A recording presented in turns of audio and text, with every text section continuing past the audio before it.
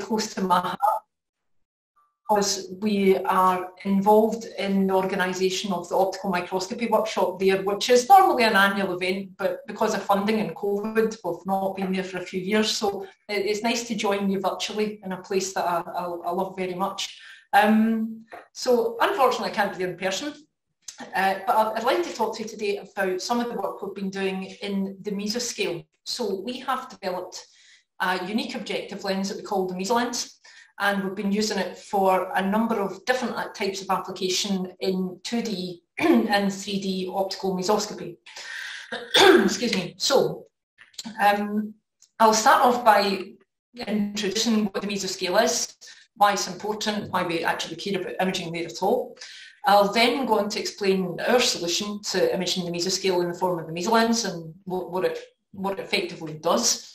Uh, I'll then talk about two different imaging modes that we've developed uh, that are compatible with the mesolens, uh, namely confocal and wide field uh, imaging uh, in the mesoscale.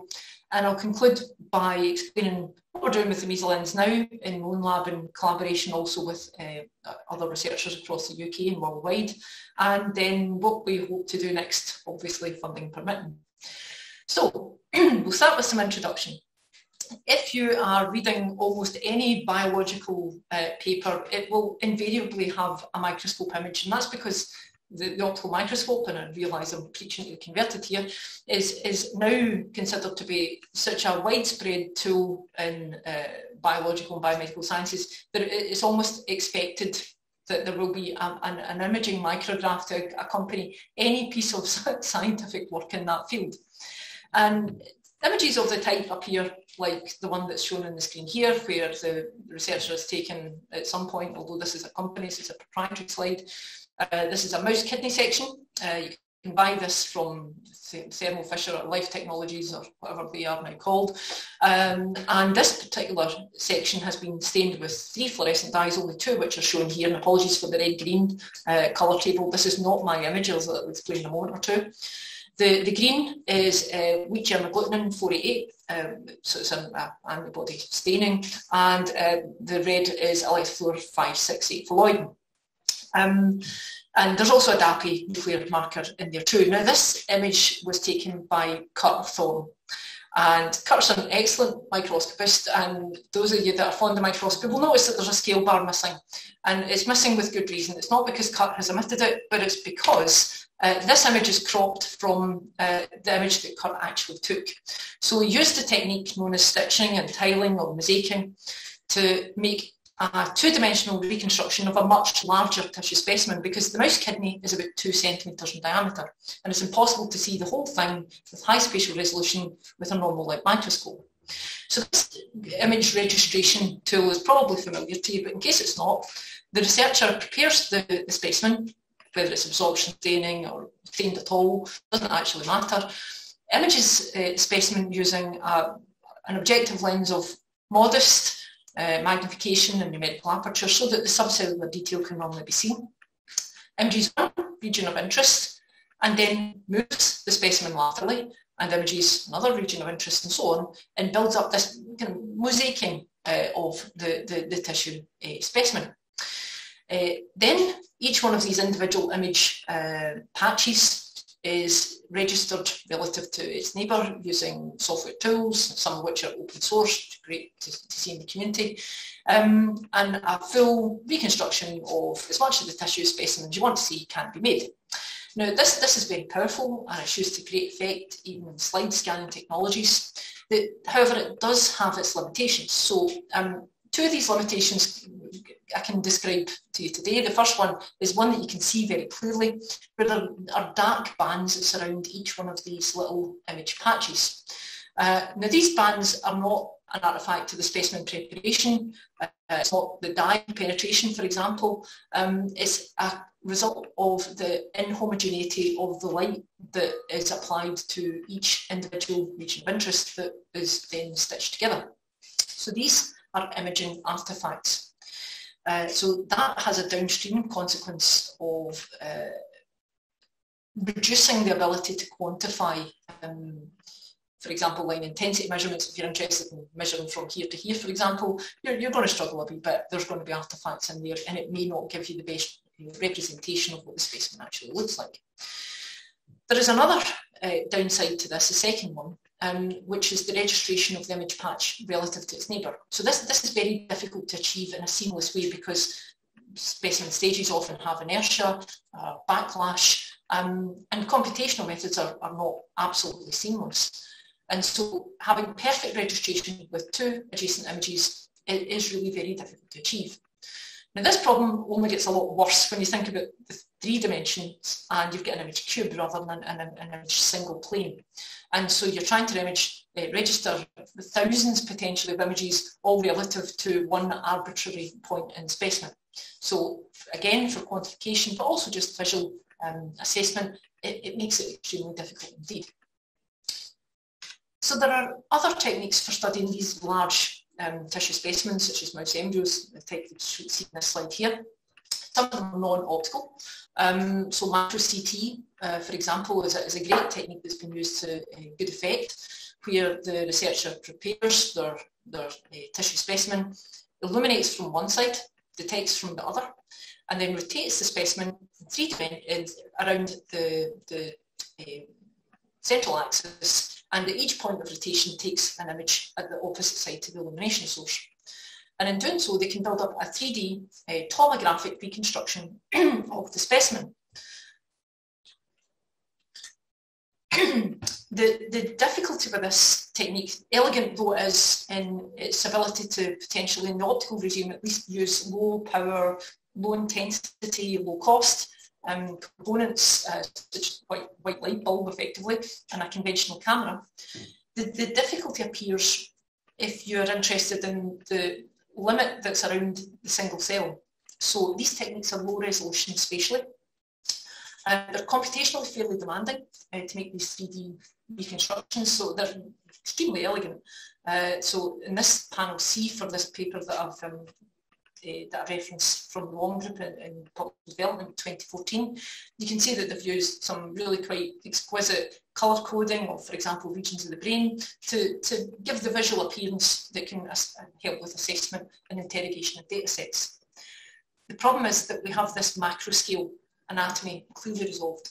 So you can see organs, you can probably see some regions of organs, which is it's shown in, in brain here on the dot. Um, but the difficulty comes when you get to the single cell because these tomographic reconstruction techniques rarely can see single cells and they cannot see the subcellular limit at all. So it makes it a bit tricky to, to use for, for some applications. Thankfully, we're not the only people that are concerned about the mesoscale. So there are now um, other mesoscale imaging systems available um, that are kind of complementary to the mesolens. And I'd like to take a moment or two to explain what these current systems do. So one uh, system is from Spencer Smith's group um, when they were based at Chapel Hill. they've moved now to the West Coast. Um, and this is a multi-photon only mesoscopic imaging system. So if you care about optical diagrams, you can look at the, the, the, the uh, schematic on the left-hand side, but explain briefly with us. Uh, it's primarily designed not just for multi-photon, but for imaging of uh, neural dynamics. And the premise is such that the mouse brain, which is, let's say, 10 millimetres in diameter, um, the researcher may not wish to study all of the brain regions simultaneously. So instead, the researcher chooses two, and I believe it's now up to four or eight regions of interest, and you study 512 by 512 pixel box sizes. You can scan in the axial direction as well, so you get an image cube, and you only study these sub-regions of brain. So although it has a mesoscopic um, range, you're only studying simultaneously microscopic regions within. Now, for some applications, that's absolutely fine, and neural dynamics is, is a, a, key example of that, where, for example, using um, the uh, GCaMP uh, expressing mice, it's possible to look at neuronal activity in, for example, the hippocampus, um, or look at both the, the right and left ventricle, for example. So that, that becomes quite a useful tool that affords the researcher the possibility to look at long range uh, dynamics and look at correlation and, and cause and effect. There is another system uh, which was produced by Karel Svoboda's um, group at Janelia. And this again is primarily a multi-photon system and it's aimed at looking at the mesoscale.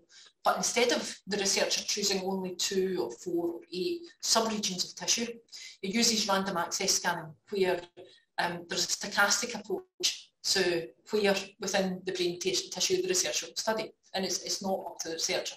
So the researcher will put the specimen on, normally um, it's a mouse brain, you know, skull uh, removed, water dip lens, and uh, if you basically click go, the region of interest, which is again about 512 by 512 pixels, will randomly sample uh, the brain dynamics using, again, a calcium reporter mice um, in, in, order to try and build up more of a representation of what the whole brain dynamics are because rather than looking at sub-regions of the brain, it's looking at a global view.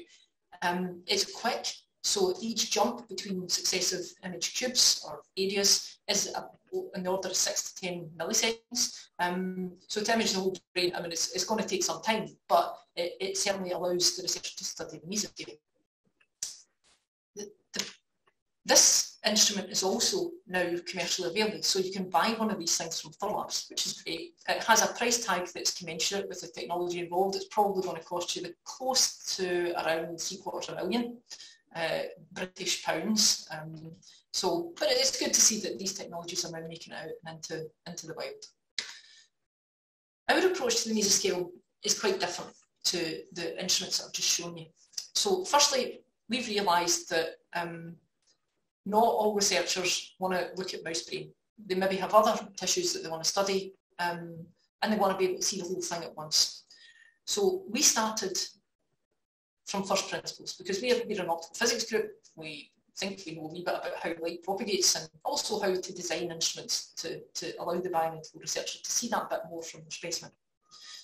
So on this slide, what you see at the moment are the Rayleigh resolution profiles of objective lenses that may be available in your own labs or institutes, um, possibly rolling around in a drawer if they're anything like my labs. Um, and they're not in specimen space, these are in image space. So irrespective of whether you have a high magnification, high numerical aperture, such as the type shown on the left-hand side, or a low magnification, low numerical aperture lens, the type shown on the right-hand side, um, I'll try and find a pointer here which might be useful you'll see that these Rayleigh resolution profiles look almost the same. And the reason for this is an historical accident. And it's the fact that until extremely recently, the light microscope was designed with the human eye as its detector. And the visual acuity of the human eye with a 10 times eyepiece is around 7 micron. And in the same image space as with these uh, objective lens performances here, see that the resolution profile is kind of similar to the visual of the human eye. And that's because there was no point in building a microscope that could see more than the eye could. Um, because normally the researcher would draw what they could see down the light microscope, but we're not really in that space anymore. That's not to say that these objectives are now useless. They're not. They're, they're great. These are fabulous objective lenses, especially this one here. I mean, this, this is a flagship high magnification, high numerical aperture lens, great for immunofluorescence and immunohistochemistry imaging. It will give you submicron resolution performance in three dimensions. Um, the problem is that this lens will only sample, allow you to sample a very tiny fraction of a millimetre of tissue. So although the, the resolution that you get is fabulous, that you, you're only seeing it from a tiny tissue volume and that may not be representative of the, the larger tissue specimen you're interested in larger tissue specimens, normally you go to something that has a low magnification. But that also has a low numerical aperture, which means that the, the resolution is going to be poor as well. So for this type of lens, which you can buy for like £500, um, you can image over 100 cubic millimetres of tissue, which is great. Um, that, that's probably about a quarter of a p if you're interested in just thinking about what that is in, in spatial scale. But the difficulty here is that you don't have subcellular resolution in three dimensions. So you, you get a trade-off. So that's why we, we have this range of objective lenses, but they still don't do absolutely everything that we want. So to that end, we've designed the mesolens. Now the mesolens can has a unique combination of low magnification and high numerical aperture. So it means that we can image well, this 118 cubic millimeters roughly, um, but we have resolution that comes from the high numerical aperture. So you're now in a subcellular space, uh, resolution space within over 100 uh, cubic millimeters of tissue. So we no, now no, no longer need to compromise on the amount of spatial detail within the, the tissue image uh, volume. So we hope this is going to be useful, and so far it seems to be. So now I'd like to explain a wee bit about the mesolens itself and how we went about designing it, building it and turning it into a microscope. So in this uh, slide here, on the left-hand side, this is a cartoon diagram of the light path of a normal optical microscope. Where the specimen sits here, you have your objective lens, your eyepiece, and then your puny human eye is the detector up here. Uh, this to scale next to it is the mesolens, and you'll see that it's gigantic. This, this is not the whole microscope, this is just the objective lens. Roughly the same length as a human arm, and it's, well, depending on how much you, you lift it, it's probably the same width as a human arm as well. Specimen sits here, and you'll see that firstly, it's not just like I mean, this is wide, um, and the reason that the individual lens elements in these mesolens are so large in diameter is that we need to think about having high numerical aperture. So we need good collection. And effectively what we want to do is take each individual point in the specimen plane and relay it to a camera which sits way beyond uh, the optical path of the diagram that's shown here in the image detection. So the way that we set about um, coming up with this mesolens in the first place was we uh, worked very closely with one of the best lens designers in the UK, um, who is normally designing telescope. Telescope is just a microscope upside down. So we, we figured he was a good person to speak to. So closely with him, we were using uh, Zemax, the industrial standard for lens design software, to devise what the mesolens prescription would be.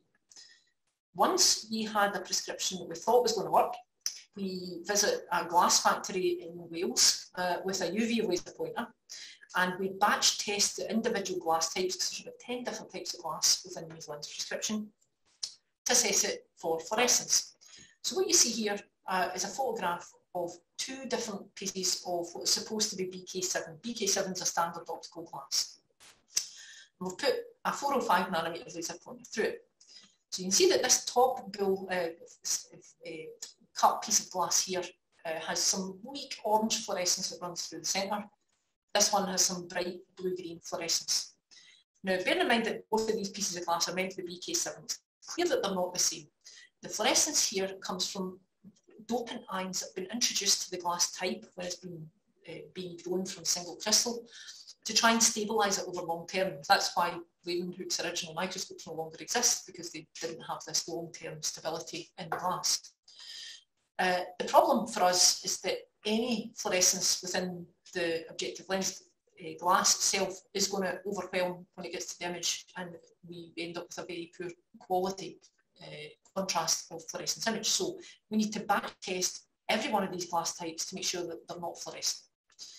Once we've done that, we then put a deposit in the glass to the manufacturer and we return to Zemax armed with the Abbe number, cell, cell coefficients, fine details, dispersion parameters of each one of the different glass types that we're going to use in these lenses. And we need run Zemax to make sure that with our updated lens catalogue, it's going to work for us. Uh, we don't have the capability to then turn these giant blocks of glass into lenses at Strathclyde, so we farm that out to a third party. And it's a spin out from Imperial College, and they're one of the few optical um, grinders and suppliers who can mount the lenses to the precision that we need for the mesolens. So each one of these individual lens elements here has to be centred to a tolerance that's better than about 3 micron. So they have a great engineering precision as well. We're also quite confident that they can make the, the lenses that we need because they're the same uh, outfit that supplied the gravitational wave program LIGO with their end mirrors for the interferometers. Now these are meters in diameter with uh, lambda over 100 flatness. So yeah, we, we knew that we were speaking to the right people. I'll leave most of these numbers here for you to look at at your leisure, but the, the important parameters are, well, we've already spoken about resolution, so we know that we've got subcellular resolution in theory. We have uh, an imaging field that's about six millimetres in diameter, and we've designed a meso lens that has a three millimetre working distance so that we can image through into three dimensions into reasonably thick tissue pieces. It's a multi-immersion lens, so we've got multiple correction collars, so we can move individual lens groups up and down relative to each other to compensate for different, or allow the use of different uh, refractive index uh, mounting medium, media. And uh, so we can work with oil, water, glycerol. We can also form an engineer. It's just the resolution performance isn't quite as per the 600 nanometer axial and about 4 micron, uh, sorry, 600 nanometer lateral and 4 micron axial that, that we, we would want to be able to provide. Roughly 90% of the effort in designing the meso lens goes into managing chromatic correction. If we only needed a monochromatic meso lens, one colour, such as the kind of multi-photon type approaches that um, from the Svoboda or Schmidt groups, where they're fixed in wavelengths, for example, to only GFP, then it's reasonably straightforward. The problem is that biology isn't straightforward, and neither are the combination of photoproteins or fluorescent stains or absorption stains that the biologist wants to use. So we need to provide chromatic connection across the entire spectrum for the image to be as good as it can possibly be. in a previous slide, I showed you the Rayleigh resolution profile of the meso lens compared to the other objectives in the lab. Um, this richness of information the high resolution that the meso lens gives us within this gigantic image cube means that we start dealing with a lot of data very quickly. So for a single optical section, uh, so 2D only, single colour, from Nyquist sampling um, across the roughly six millimetre field in these lens, that means we end up with an image of about 400 megapixels. Uh, we then put in another couple of colours, so that gets us to about 1.5 gigabytes to sample through the full 3 millimetre working distance of the meso lens, we need um, about 1,000 optical sections. So that 1.5 gigabyte becomes 1.5 terabytes, and that's for a fixed sample. So you can start to see how um, the, the data volume rapidly ra ramps up. I also mentioned that the time taken to build an image is variable, and that depends on whether we use confocal or wide field imaging. And I'll explain both of these in a moment or two. But before I forget, the main point is that because we have so many pixels that we need to scan over in confocal, even with a quarter of a microsecond dwell time, it can take us days, if not weeks, to image one tissue volume at very high speed, very high resolution. Camera is much faster, um, as cameras normally tend to be compared to a confocal microscope, but there are also limitations there, and I'll explain those as we go along. So when we designed the meso lens, we had in mind to use it as a confocal lens for three-dimensional imaging. So that's where I'd probably like to begin.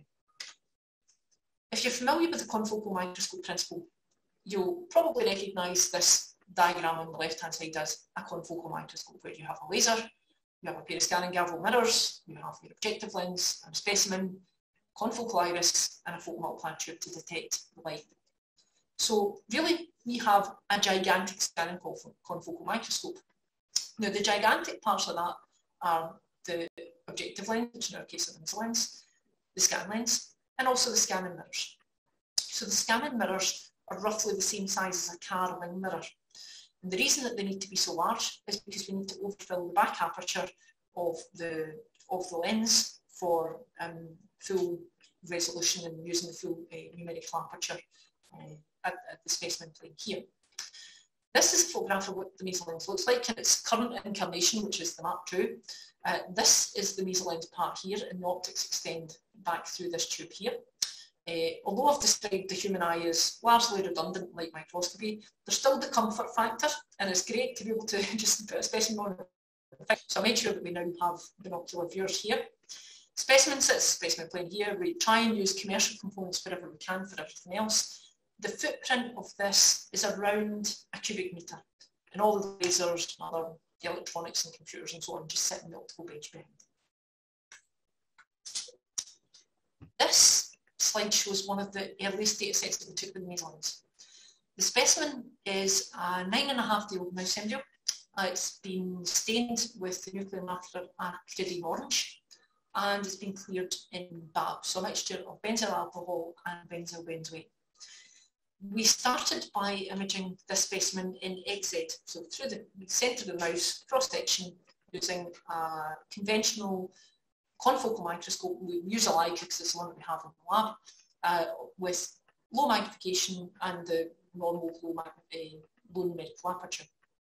And perhaps unsurprisingly, because of the poor axial response of this low numerical aperture lens, each one of the cell nuclei looks like a long thin needle of light.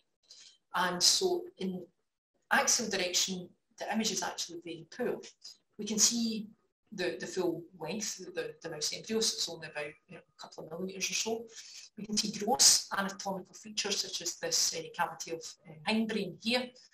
But as for any other detail, it's effectively obscured and it's just a consequence of the, the low NA. When we put the same specimen on the mesolens, everything sharpens right up. So we're imaging at exactly the same point and the same uh, direction and dimension. So while, for example, the neural tube, which should be up here, is just completely obscured in the confocal, um, the ordinary confocal microscope, with a mesolens, you see the neural tube, you see the blood vessels that surround the neural tube, and when we zoom in, which we'll do in a later slide to a, a later data set, you can see um, the, the, the, high spatial detail that, that the mesolens data affords. So I appreciate that an XZ cross section is quite difficult to get a sense of um, what, what, the, the uh, microscope can do. So here we're looking at a later stage mouse embryo. This is day 12. Uh, this is dual stain, so the yellow uh, contrast that you see here is from uh, the same nuclear marker acridine orange as shown in the previous slide. The blue is a neuronal variant of beta tubulin that's labelled um, with, uh, so it's antibody labelling with Alexa 594 conjugate. So this is much downsampled for presentation, but it shows, even with a static image here, the microscale anatomy of the mouse, but we can see we've got kind of an edge of brain here, we've got an eye here, we've got some ribs down this end, probably got a bit of liver here. Um, but if PowerPoint allows, and if I can uh, stop having a laser pointer, um, if I press play in this movie, we have moved the specimen is the increments of three micron up towards the lens, because we use it as an upright lens. And each successive image over only about 200 micron or so, we start to see new imaging uh, detail at depth within the tissue specimen. So if I play that again, you'll see that, uh, for example, these ribs disappear and the liver comes into focus. We start to get a bit of heart up here somewhere.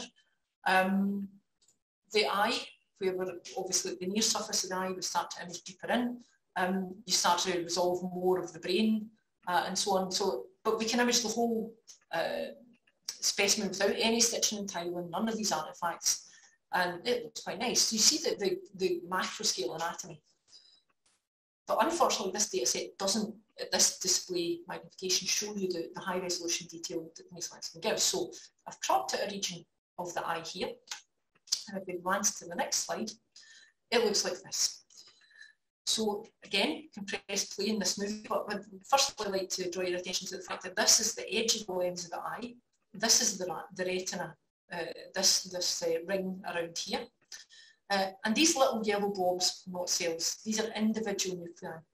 So what this means is that in three dimensions, press play and just advance through the movie, we now have subcellular resolution throughout that entire over 110 cubic, eh, 10 cubic millimeters volume. So here, for example, we can watch as the, the retina expands and then as we go deeper into the specimen, collapses and goes on to form the optic nerve. So we now have a holistic view of the tissue specimen rather than cherry picking that, that little region that we care about. So although we had the Mouse Atlas community in mind from, as one of the main users of the mesolens, we, we recognise that that's just scratching the surface of what the biomedical researcher wants to look at. So we, for example, have developed protocols for the fixation, staining and clearing of whole um, Drosophila uh, as one of the, the main model organisms. And this is a, a lovely image, um, absolutely not biased at all, um, of an adult female Drosophila but and while it is quite a nice image, actually hides more than it reveals. So I'd like to show you what the raw data looks like. So this is a screen grab of me panning and zooming through the dataset in ImageJ. So if I press play, currently the head end of the fly, um, this is the edge of the lens of the eye, and if we just drag the image uh, through, uh, we know it's a female. These, these are the ovaries of the fly, and we can simulate focusing in the dataset just by, again, moving the slider up and down through the gut, up through the salivary gland. We've got fine rows of flight muscle here, because the wings are here and here. You can see edges of legs and cross section up through the cavia. Um, back to the brain. Um, and this, the staining here is just a nuclear marker. We've not done anything particularly fancy. Um, but for example, we're now working with uh, Drosophila groups in the UK and overseas are using this organism as their main uh, research tool to study, for example, parasitic infection. And rather than assuming that all of the parasites are, are accumulating within the salivary gland, they can now look at, for example, the gut, see if the parasites are making their way, their way into the brain, and they have this global view of infection uh, and aging uh, in the intact organism, which we, we believe is, is totally new. So as well as the 3D imaging, um, we realised that we kind of missed a trick when we started doing this 3D imaging and that there was a whole lot of people out there that wanted to just do 2D imaging using wide field approach. The problem is the number of pixels that we need. So I've already explained that ideally we'd like 400 megapixels and no commercial camera is going to give us that. So the next best thing we've found is a sensor shifting camera. Uh, so these are now commercially available. Uh, we bought one from Vieworks. They now sell a slightly fancier version with more pixels than this one, but it's, it's still good for, for our application. So this is a 28 megapixel sensor and it's located on uh, two orthogonal uh, ISO electric transducers. And rather than moving the sensor by a full sensor width, what happens is you apply a small voltage to the piezo and uh, you move it by a fraction a pixel width. So in our case, we move it by a third and third and third. And we do that nine times a three by three array. We'll get nine images. We then perform an operation that looks a lot like deconvolution. And in doing so, we can effectively multiply the pixel number by nine, divide the pixel area by nine, and it gives us about a 260 megapixel image. So when we shrink the field of view, uh, field of view of these lens from around six millimeters to about four and a half, we're now Nyquist sampled. So it's still more than uh, the normal 4x lens can give us, but with the advantage of high spatial resolution across that four and a bit millimeter field. Uh, so it's got a CCD at its heart, and we've used it for many different uh, wide field imaging uh, techniques, um, bright field, dark field, but fluorescence tends to be the one that most people come back to. So this is an epithelial uh, cell prep. The green is fluorescein phalloidin, and the red is mitotracker red, and blue is the marker DAPI. Um, I like this image because it shows one of the advantages of these lenses. So this is a proprietary slide. It's not one that we've uh, produced in our own lab, um, but we bought it from uh, Thermo Fisher. And uh, it looks like a nice slide if you look over here. The problem is if you look over here, something's not right. So either the dye, the fluorescein phalloidin dye hasn't penetrated to this region of the tissue, which is why you don't see any green, or it may be that these cells just lack the, the actin that the, the fluorescein phalloidin would normally bind to. So if this is your cell prep, you would probably want to choose a region over here, but it may not be representative of the entire, the, the entire tissue prep. So for reducing the self-conscious bias that we inevitably bring to our studies, the mesolens can help reduce that because we now have, we can see more than we, we would normally see with our conventional uh, light microscope across a, a wide area. And again, if we just digitally zoom in to a region and again zoom away from that region, but you, just to show the resolution capability in the field, we can resolve these individual nuclei, we can see uh, bundles of F actin, uh, and the image quality is quite good. We are at the moment limited to the speed acquisition at the moment uh, here. So each, because we need to take nine images, even with a 100 millisecond exposure or so, uh, it probably takes us about five seconds to build an image. So we're not quite at the point yet where we produce this for, for example, calcium signaling, but the newer camera that Vieworks have produced gives around three, uh, I think it's something like eight frames per second. So we might be starting to head towards that space sometime soon. We've also done quite a lot of bright field imaging, uh, so in collaboration with colleagues at UCL and uh, National Physical Lab, we've been using different and comparing different mesoscopic imaging tools for their use in malaria diagnosis. So there are normally two types of uh, blood prep for assessing malaria uh, infection. You can have a blood drop, which is thick, or a smear, which is thin. And these regions just show high resolution images of what these cells look like. But ideally what we want to be able to do is to detect the, the malarial parasite within the intact uh, red cell. So we compared the performance of different uh, techniques using a normal uh, bright field uh, illumination. We used a convolutional neural network to enhance then the bright field image. We studied the application of these films using the mesolens and we also looked at Fourier ptychographic microscopy. Um, the, the take home from this is that all of these techniques seem useful. Um, we can detect the parasites with all of these techniques. But one of the things that I think excites me at the moment is the possibility of combining uh, deep learning through the convolutional neural network approach um, to the mesolens datasets because we know using a, a 20x lens with a numerical aperture is very similar to that uh, that the mesolens us, that we can recover spatial detail um, of the individual parasites within the erythrocytes uh, that looks remarkably similar to the ground truth. For this, we're going to need a lot more computational power, but I, I think it's probably within uh, a, remit soon. Right, I realise I'm taking up all your time, but I'd like to take another few minutes to tell you about what we're doing now and what we would like to do next. So the first thing is that there's no point in us having meso lenses and nobody else being able to use them. So we've set up a meso lab at Strathclyde. It's a small user facility where people can send the specimens, come along, COVID restrictions, permitting, and do some imaging with us in collaboration. So if you're interested in doing any meso imaging, more than happy for you to reach out to us. Do get in touch and we'll see if we can help you with your own research. We've been working with people at the National Institute for uh, Biological Standards and Controls, uh, and the press playing this movie I'm chatting. The specimen that you, that you see here is a whole lobe of mouse lung, and the little colourful dots that you see here are individual TB bacilli. So the researchers at NIBSC have used a combination of boron orange and rhodamine B to label up the TB infection that's within this whole giant lobe of tissue. We use optical clear methods and then we developed an image analysis pipeline to look at clustering and heterogeneity and cellular counting within this mesoscopic uh, tissue volume. So this is work that I think is published a few months ago now. Um, for us, this gave us a lot of confidence that the mesolens would have broader application than what we were first anticipating. I've also been working with, uh, I'll be showing quite a lot of unpublished work as well, um, and I, I, don't mind if this is kind of shared, so it's, it's not a problem at all. Um, the specimen that you're looking at here is what we've been doing in collaboration with a local group in Glasgow, uh, the University of Glasgow instead of Strathclyde, and they're interested in studying a trypanosome infection. So at this level of display zoom, the cyan colour that you see here, DAPI labelled cell nuclei. But if I press play and we've got a few random artifacts that we can get past, once we get deep into the tissue, you see these red blobs.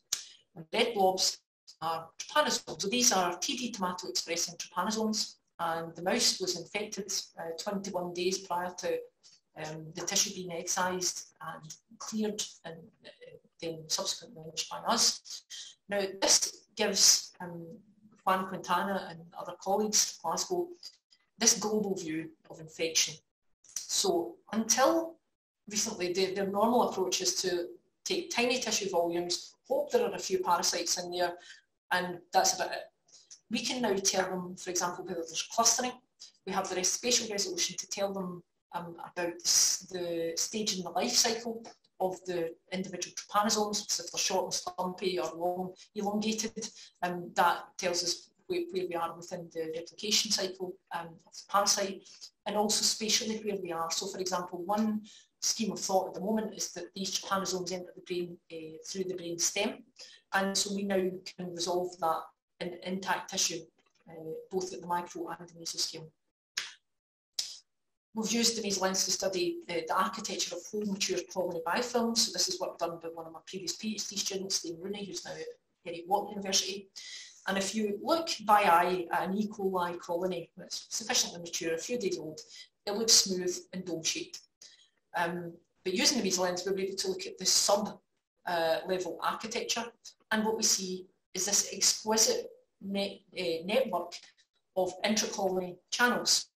So Liam, being an excellent microbiologist, was able to do a number of experiments that, that showed the, the role of these channels is likely to be in the provision of nutrients to sustain the biomass.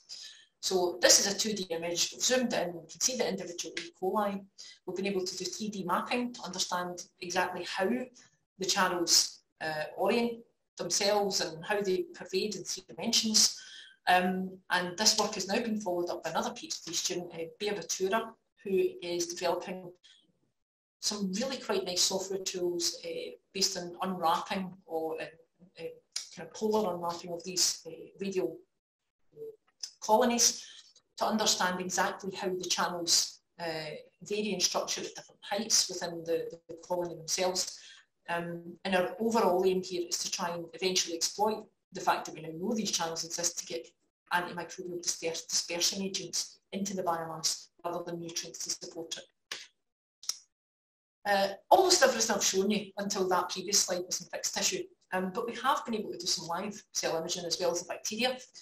The movie that I'm showing now is an, uh, an image of uh, Drosophila pupae, pupa, sorry, and the contrast that you see here uh, comes from the fact that the hemocytes are, uh, are expressing green fluorescent protein. So this is preliminary data with Jenny Regan from the University of Edinburgh, and she's interested in the flow of hemocytes within the intact living organism. So you can see that at the bottom here, there's a little pump, that you can see the, the pulsatile nature as the hemocytes circulate through this uh, nascent object. And we can use uh, methods to not just look at this in 2D, but also in 3D. So normally Jenny is, limited to having only a few, maybe 10 hemocytes within a single field of view, we can now show the whole intact organism and it survives illumination and detection for quite a long time because the high numerical aperture in the mesolens means that we've got great light collection efficiency, which also has benefits for reduced phototoxicity and photobleaching. Um, this is a different specimen. This is this is very different. This this was prepared by one of my PhD students, Meg Clapperton, who we found out won an IOP post surprise this morning, so she's very pleased, and so she should be. The green contrast that you see here is from a human tonsil. So each week we receive um, or we collect excised human tonsils from uh, the, a local hospital and we're working very closely with clinician, Catriona Douglas, um, who is interested to understand the role of bacterial infection in acute, uh, recurrent acute uh, tonsillitis. So tonsillitis sounds like a very straightforward childhood um, disease. It's absolutely not. It has one of the highest post-operative bleeds uh, and costs the NHS so much money, I was astonished. So we've been taking these tonsil tissues from Catriona each week and processing them for mesoscale imaging to get a sense of the, the, the, the, bio, the bacterial burden um, in tonsillitis. So the green contrast here comes from reflection mesoscale imaging. If I press play, we can you know, render this, um, the, the tonsil surface in three dimensions. And then around halfway through, um, some magenta is going to appear, and that's fluorescence labelling of the bacterial population. And what you'll see is it's vast. Now there is the normal healthy bacterial population, um, so if you do a, a throat swab of someone, they're likely to have some group A strep uh, within the throat what we're starting to understand now is that the bacterial infection is much more significant than we first understood, and we can use mesoscale imaging as a means to better understand the, just the widespread nature of this infection. Okay, I'm going to take another couple of minutes just to tell you exactly what we're doing now. So the first thing is we're building a light sheet for the mesolens. The confocal imaging is great, but for a lot of high throughput and high content imaging, it's just too slow. However, it's not trivial to make a, light sheet for the mesolens. Normal Gaussian optics means that if we focus the, the light sheet to an axial width that's commensurate with the resolution of the mesolens, it would only propagate over a couple of hundred micron, but our field of view is four millimeters, six millimeters or so. So we've had to design and a propagation invariant light sheet that's based on an Airy beam principle for long propagation of a very thin light sheet. And we've we applied for a bunch of funding for this, didn't get it, so well, we've done it anyway. So this specimen here, so this is um, a screen grab of uh, what the Napari GUI uh, will yield for us when we look at a whole preparation of um, an intact entire mouse pancreas, which we have fixed, stained with a nuclear marker, and then cleared using a BABB. If I press play, the, the start of the movie looks okay. You can see that we've got some light sheet streaking artifacts here, perhaps not to be expected. We can interrogate this data set using the free uh, open source Napari uh, browser.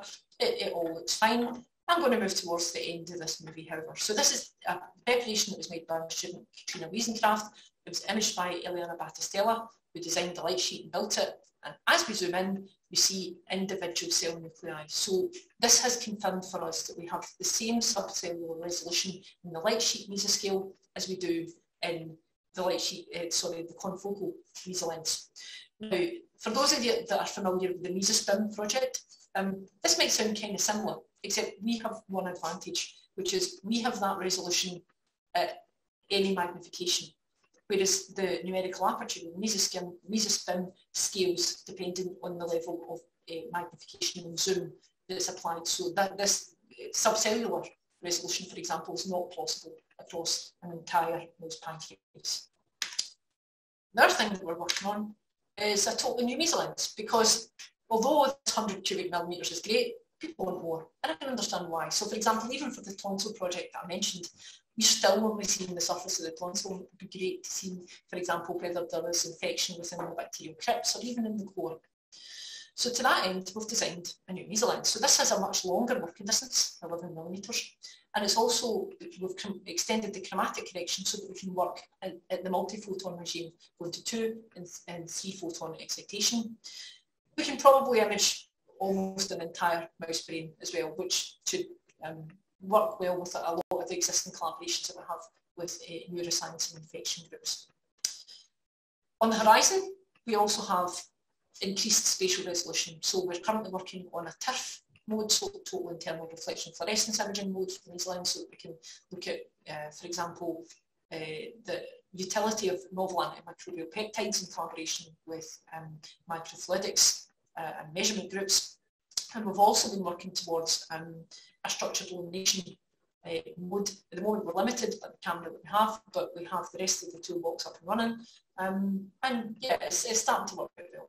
We're also always open to ideas, so if the mesolens doesn't do what you'd like it to do, um, do talk to us. We're happy to discuss your requirements.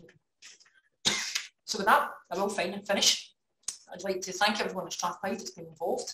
Um, our UK and overseas collaborators for sending the specimens and being as excited about it as we are, and also the funders for well, making a lot of this work possible because it's rather expensive and we appreciate it. And I'd like to conclude finally by thanking you very much for coming along today and hearing what I've got to say. So thank you.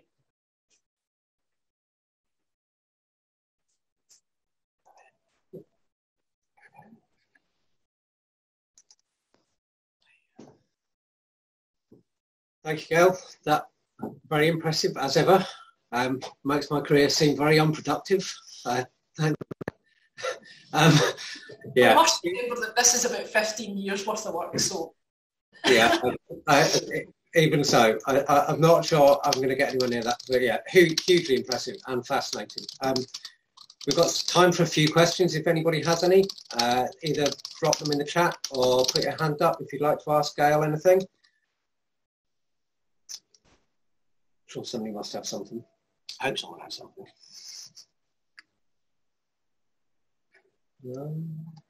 Okay, in the meantime, so Gail, I know you've done quite a lot of work on biofilm formation, like we showed with the uh, E. coli. We had a chat about this last time.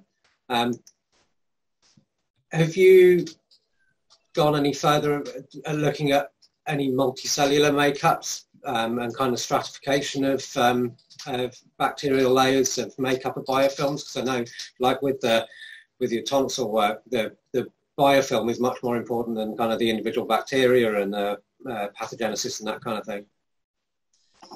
Yes, so we've moved this on quite a lot. Um, so the we now have a Dorothy Hodgkin Fellow um, that's joined us who is working with multi-species, multi-strain uh, bacterial colonies. So Catherine Baxter is doing quite a lot of work on uh, Candida, E. coli and Pseudomonas um, based biofilms. So looking at kind of interspecies um, interactions. We're not quite inter-kingdom yet, but that's probably not too far away.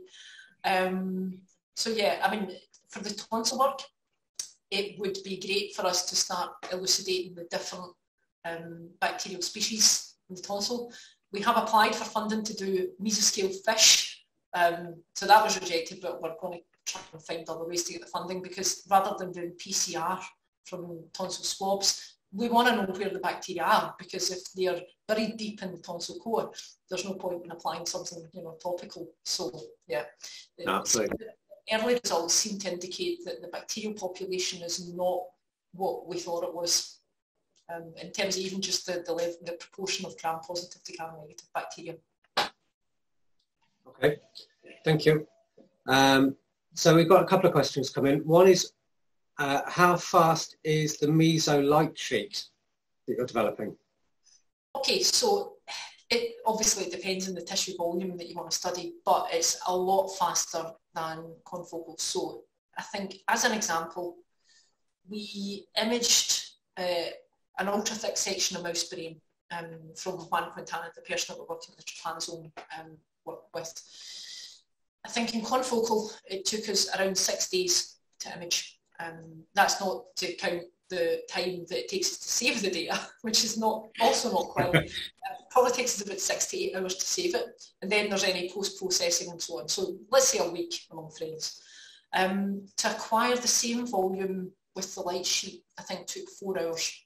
So I realise it's not in the same speed scale that we're at with um, a normal light sheet microscope, but given the density and richness of the information that we're able to get with light sheet lens, it, it does still seem worthwhile. So we end up with four hours to acquire, about one hour to two hours to save.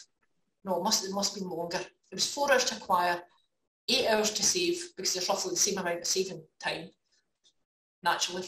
Um, and then, yeah, after that, we can do it. But the acquisition time is a lot faster. Um, and I think that was with 100 millisecond exposures per sensor area, roughly five seconds to acquire one individual image plane and then move on. Okay. Hope that answers the question, but if not, come back to me, please. Okay. Um, so I, I realise we're ra rapidly approaching the one o'clock mark. Um, and yeah, so if, if nobody's got anything further, um, I'd like to thank Gail for an absolutely brilliant talk as ever. Um, fascinating and Gail, let me know if, if you get any interactions, if there's any anything comes. Um, if not, you, you might hear from me at some point on some mucosal work. Um, but thank you again. Absolutely brilliant and fascinating. Great way to start off. Um, for the next talk, we have Dr. Sam Giles from the University of Birmingham who is a paleontologist who uses uh, CT scanning to um, analyze uh, fossil anatomy internally. Um, I won't pretend to know much more about it than that because it's it's really not my my area. But uh, having read some of her papers from what I, from what I do understand, uh, it's absolutely fascinating, and uh, she uses different applications uh, beyond just CT as well. But uh, so that's one. I hope you can all make it for that in a month's time. Otherwise, thank you all very much for attending. Thank you.